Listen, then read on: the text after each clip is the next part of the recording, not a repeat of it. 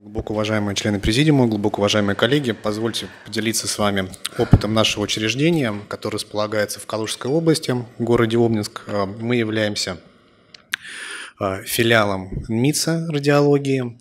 И позвольте предоставить вам э, результат опыта нашего отделения, которое относительно молодое. Мы работаем около года всего лишь. Будьте... А, На данном слайде, как я уже сказал, то, что мы являемся одним из трех звеньев э, Национального медицинского исследовательского центра радиологии Минздрава России. Наш центр называется Медицинский радиологический научный центр имени Анатолия Федоровича Цыба. И непосредственно мы являемся сотрудниками отделения рентген-хирургических методов диагностики и лечения. Давайте вообще поговорим, что такое рентгенохирургия и какие ключевые аспекты мы непосредственно можем выполнять. Э, как я уже ранее сказал, что отделение э, рентгенохирургии, так называемая катализационная лаборатория, она по сравнению с такими великанами, как хирургия или терапия, достаточно молодое направление, но стремительно развивающееся. Импульсом к бурному развитию этого направления, пожалуй, послужило применение разнообразных лечебных вмешательств, которые используются за последние годы, и также э, информационное и э, программное обеспечение, и программное обеспечение, которые стали подписать под те аспекты, которые может проводиться при возможностях ангиографических установок в настоящее время. Из истории пионером служит а, Чарльз Доттер, который еще в далеком 63 году на Конгрессе в Чехословакии сказал следующие слова, что ангиографический катетер в руках мудрого врача, обладающего воображением, станет терапевтическим инструментом. И, в принципе, он это и доказал уже в следующем 64 году, впервые спас спас пациента от ампутации нижней конечности, проведя баллонную ангиопластику подвздошного сегмента. Но ну, вернемся к организации.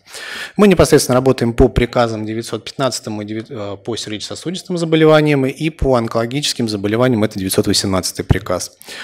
Также хочу отметить, что если среди здесь присутствующих людей э, будут лица заинтересованы в организации такого отделения в своем учреждении, все настолько непросто и сложно, как кажется на первый взгляд придется столкнуться с рядом трудностей и массой вопросов, казалось бы, на первый взгляд, непреодолимыми, но все же.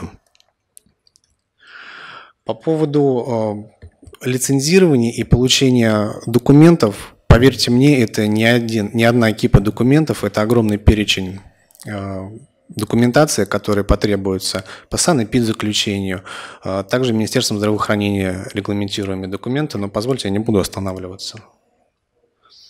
А, наше отделение открылось в 2018 году, хотя указ о создании отделения наш академик Андрей Дмитриевич Каприн был, э, подписал в 2017 году, что свидетельствует, э, как мы не старались в кратчайшие сроки произвести открытие отделения, все равно потребовалось как минимум чуть больше года.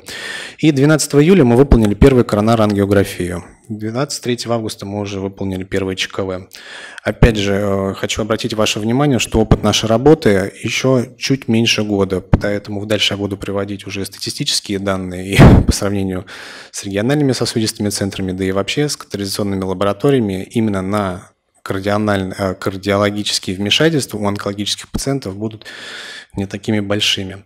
Ну, по поводу оснащения отделения, я думаю, это стандартный перечень, необходимый для лицензирования и запуска квалификационной лаборатории, и также оказания полноценной рентгенно-васкулярной помощи пациентам во всех направлениях, как и по кардиоонкологии, как и по кардиальной патологии, так и по онкологическим васкулярным вмешательствам. Собственно, так выглядит наша ангиографическая установка.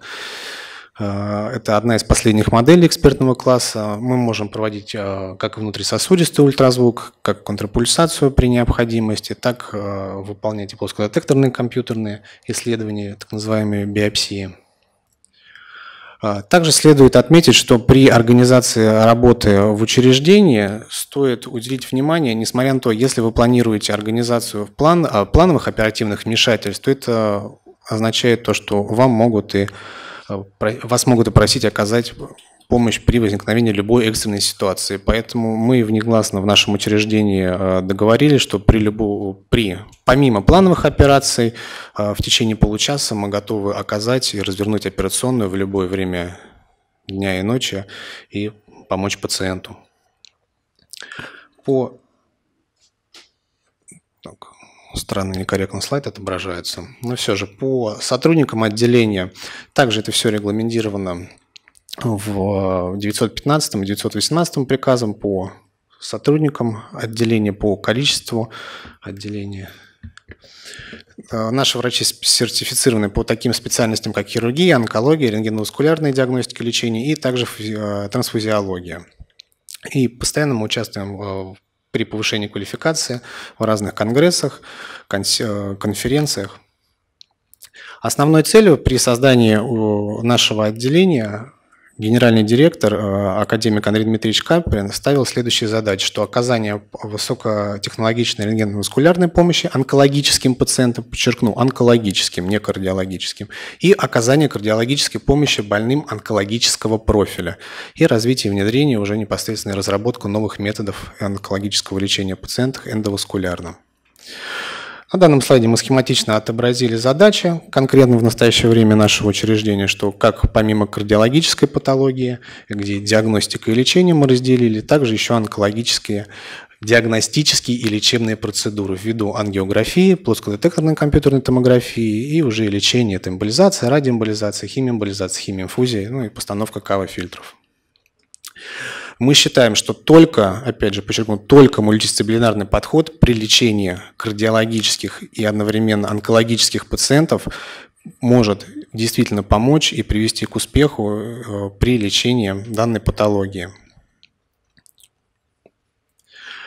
Позвольте вот на данном слайде показать, помимо того, что хоть и мы являемся федеральным центром онкологического учреждения, но ввиду отсутствия близ вблизи, в радиусе нашего центра, других сосудистых центров, то и приходится порой оказывать помощь и простым онкологическим пациентам. Стандартная маршрутизация.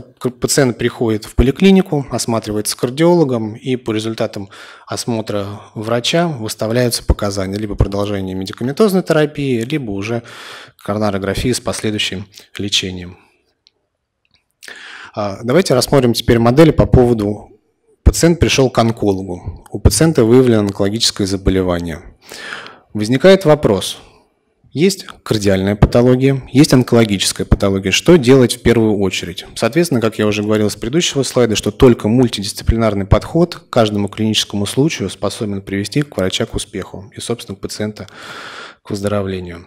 По статистике у нас достаточно немного, порядка 70, чуть более коронарографий, э, выполненных в нашем учреждении – И так, ну, это мы привели такой маленький клинический пример о том, что обратился к нам пациент с раком мочевого пузыря, осмотрен онкологом, выставлены показания на хирургическое лечение, осмотрен кардиологом, выявлены ишемическая болезнь сердца. Что делать на первом этапе? Мы провели рескуризацию правой коронарной артерии, после чего пациентке выполнена успешно основная операция по поводу онкологического лечения, и пациентка с радостью обратилась к врачам уже по поводу э, последующего прогрессирования онкологического заболевания, но не суть. По поводу онкологической помощи мы оказываем также диагностические, как я говорил, вмешательства, так и лечебные. На, на настоящий момент в нашем учреждении, просто некорректно слайд почему-то отображается, выполнено порядка 300 э, онкологических, диагностических процедур. И порядка, вот как на данном слайде видно, что 250 химии, э, химиэмболизаций мы сделали, радиоэмболизации мы сделали, кстати, вчера буквально на сосудах, на артериях печени, при гепатоцеллюлярном раке. И вот также о возможностях рентгеноперационной в онкологическом учреждении позвольте показать на ярком, мы считаем, клиническом примере. Пациентка обратилась к нам в центр с раком слюной железы. Э, в настоящий момент обращения пациентку мучили эпизоды кровотечения из злокачественного образования лимфоузла шеи. Справа на слайде мы видим непосредственно данные КТ Нами была выполнена ангиография, установлены афферентные артерии, питающие это новообразование. Э, забегу чуть назад, пациентка была обсуждена на консилиуме, и решением консилиума было подтверждено, что хирургическое лечение ввиду вовлечения сосудистого нервного пучка не показано, лучевая терапия также не была показана. И ввиду э, усиления химиотерапевтического эффекта решением консилиума было, выполнено, э, было решено, что на первом этапе будет выполнена химия эмболизация афферентных артерий с последующим проведением э, непосредственно уже химиотерапии. В нашей же операционной выполнена плоскодетекторная компьютерная томография с, с выявлением афферентных артерий, скажем так, roadmap, и непосредственно вот на данном слайде мы видим клинические э, ангиограммы до эмболизации, мы видим афферентные артерии и после химии эмболизации, ну, закупорки, скажем так, афферентных артерий, вот такая картина наблюдалась. Пациентка к нам обратилась. Справа мы видим сравнительную положительную динамику уже через два месяца.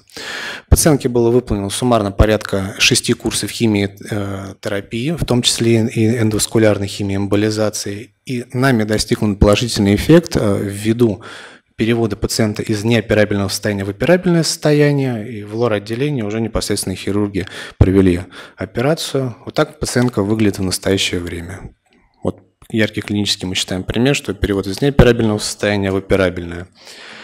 И непосредственно, вот я позвольте, на этом случае, слайде не буду останавливаться. И что касаемо выводов, которые мы смогли сделать на протяжении одного, чуть менее одного года работы в катализационной лаборатории, что организация работы отделения должна строиться четко, четко и соответствовать регламентирующим документам. Только это сможет обезопасить от ошибок на раннем этапе Э, проведения любых манипуляций. Также построение э, помощи кардиологического профиля в онкологическом учреждении требует только, только, только мультидисциплинарного подхода к каждому клиническому случаю. И должно быть э, четко все это обосновано и задокументировано. И также работа рентгенохирургических методов диагностики и лечения в онкологическом учреждении является важным значимым звеном в лечении пациентов. Поэтому наличие этого отделения существенно расширяет возможности Э, помощи и оказания э, определенного сферы медицинских услуг как онкологическим, так и кардиологическим пациентам. Спасибо за внимание.